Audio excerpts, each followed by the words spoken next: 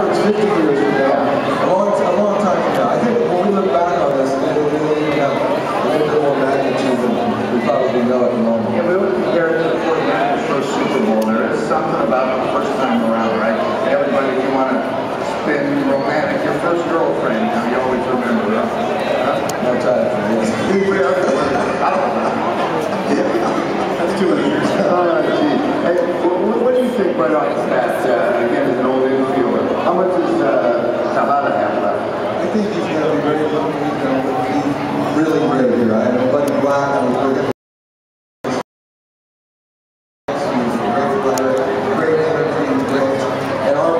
here, but the ground's cool as a way of just letting that grass grow a little bit higher.